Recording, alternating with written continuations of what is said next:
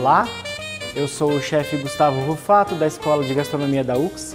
Hoje nós vamos apresentar uma massa chamada fettuccine ao pesto.